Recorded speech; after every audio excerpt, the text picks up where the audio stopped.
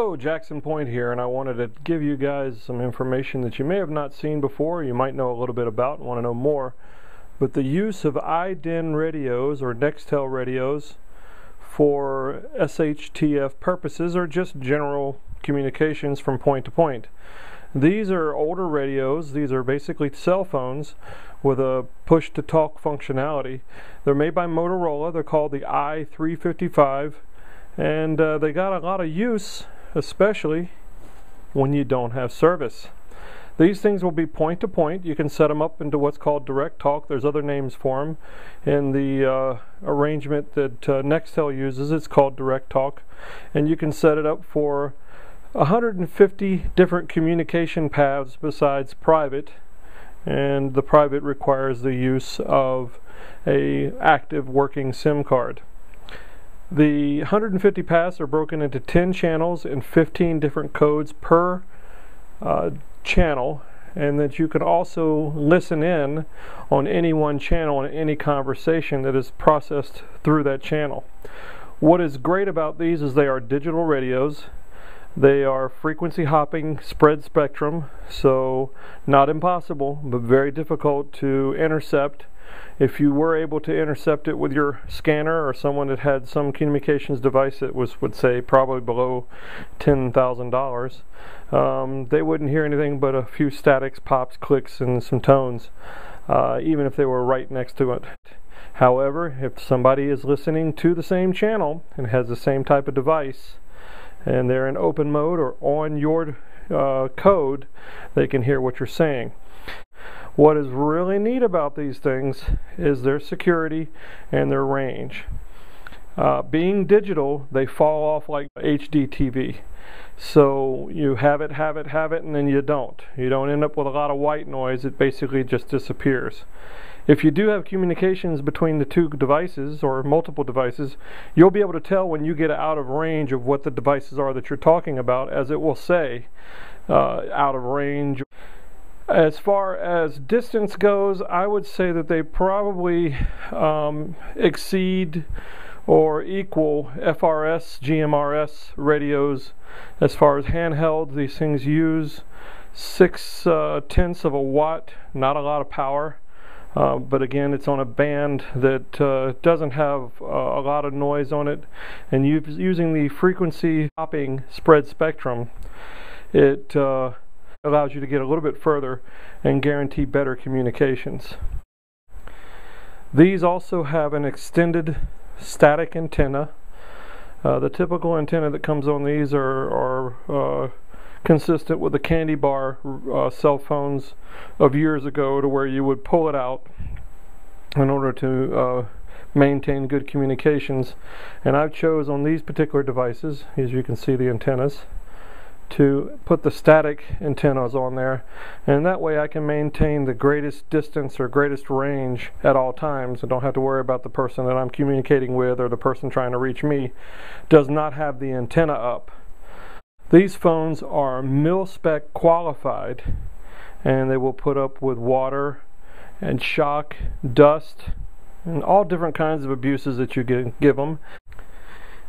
In any event, these are highly reliable radios slash cell phones.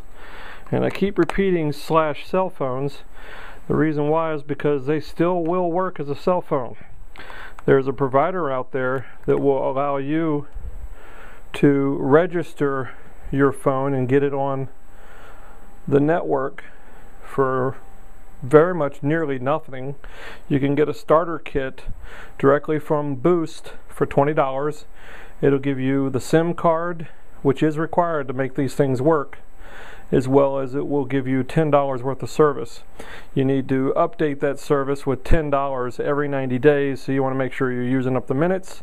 Depending on the plan that you get on, the 10 minute, the $10 plan is probably the, the most advantageous if you're going to use this for direct uh, talk um, allows 10 cents per minute communications and you can also turn on the web functionality.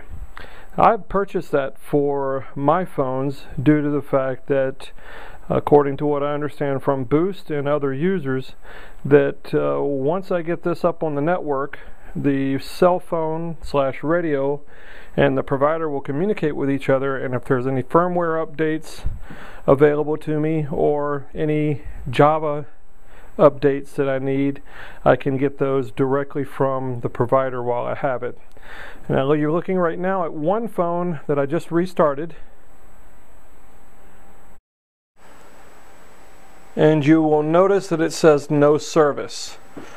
I've got this set up to where when it uh, identifies that it doesn't have any service or it identifies that it does have service, uh, you can go ahead and get it directly into uh, direct talk mode. One of them is automatic, the other one's not. Obviously this one's not automatic. What I do to get it to go into direct talk mode is I press the end key, give it a few seconds, and it kind of restarts itself into direct talk mode and you'll see it come up in the channel and code that I have it set up for. You can personalize these things when you get one directly from eBay or whatever provider that you get them from. Uh, they will usually come with a battery and usually come with a battery charger. Uh, SIMs are back and forth. You may or may not get a SIM. SIMs are fairly cheap. You can get those from around a dollar to four or five dollars. And again, if you want to get one from Boost, it's twenty dollars for a starter set. The uh, batteries themselves, when you get one from a provider, are probably the bottom of the barrel, and you want to look at getting a, a, better set of batteries. There's still new batteries out there, and there's a lot of good used batteries. As far as I can tell from my research, these things were uh, created in 2003, and I don't know how long they were manufactured until, but uh, the manufacturer and many of the users have really hung on to these things. They're known as construction phones or government phones. They really take a beating. Some of the phones you may find on eBay might be a little more beat up than others, but generally they'll put up with a lot of uh, wear and tear. If you look around, you may find sets of phones. Uh, I saw an auction on eBay the other day go for $7.50 plus $10 in shipping for five phones with batteries and chargers, no SIMs. Somebody got a great deal. Again, once you have these things set up on Direct Talk, whether you have a working SIM or not as far as service provision, you will be able to have these things communicate with each other over a reasonable distance. Because these things have uh, an external antenna connector, you can also connect them to a Wilson adapter, which will allow you to connect this to an external antenna on your vehicle and potentially even uh, have an external antenna on a, a house. Uh, I don't have one set up right now, but I do have an 8 to 900 megahertz Yagi that I'm going to probably try one of these out.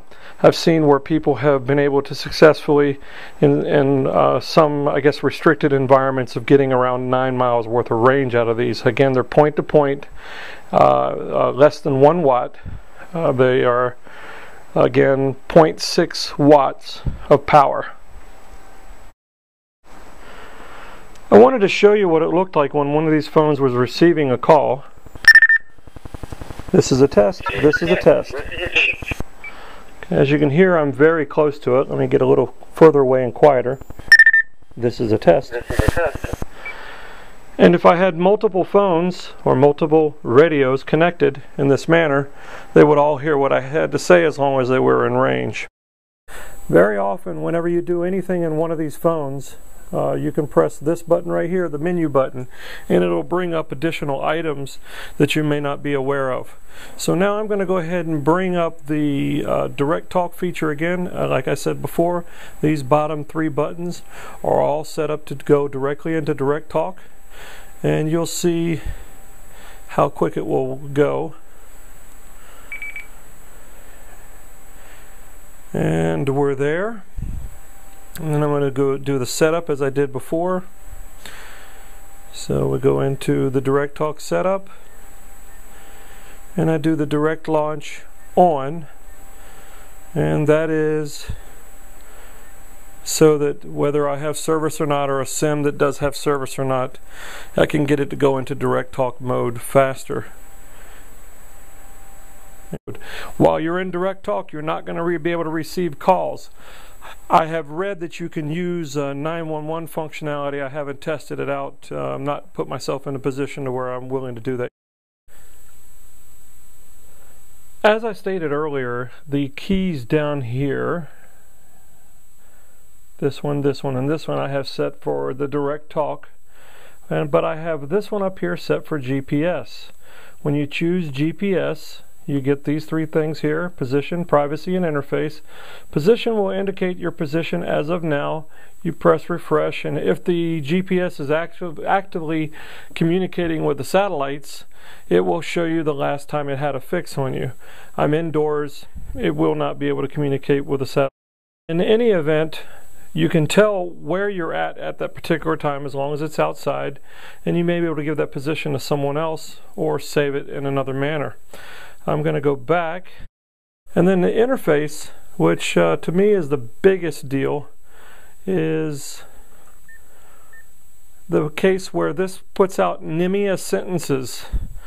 And that is where you can take this and treat it as a serial device to communicate with maybe a PC that has an application running on it or in ham radio APRS or uh, uh, for the case of the Uniden scanners, I'm not sure if others have it yet or not, but uh, as a indicator to where you're located so it can reprogram the scanner based on your location and the frequencies it could be using. I will discuss the NMEA and uh, the GPS capabilities in part two and a little bit in part three, but in the meantime I wanted to at least show you what it looked like and how to get to it pretty much concludes part one of my introduction into the i355. There are other phones that meet these same qualities. I like this one. It's bigger. You won't mistake it for your cell phone if you're using your cell phone in a uh, situation where you do have services. Uh, you can also uh, see that it's got a good sized screen. There's less parts to break. You don't have hinges. And uh, it seems to have a lot of options, accessories, and millions of batteries and chargers out there. There's plenty of other devices, accessories, as I stated. Uh, you know, was one thing that I showed you was the antenna. There's also an external speaker mic that will hook up to the bottom. As I stated, the NMEA cable. There's uh, static mounts. Uh, there's so that you can mount it in a car. So take a peek. I will give more information in the video and probably at the bottom of this and uh, probably will not be answering any questions in this video. I will probably redirect you to a site that is more interested in communications in general and do my best to answer your questions there. Hope you enjoyed this video and look forward to part two as I do. This is a great device and hopefully we never run into a situation where we have to use it pre or during SHTF. Until then, be safe.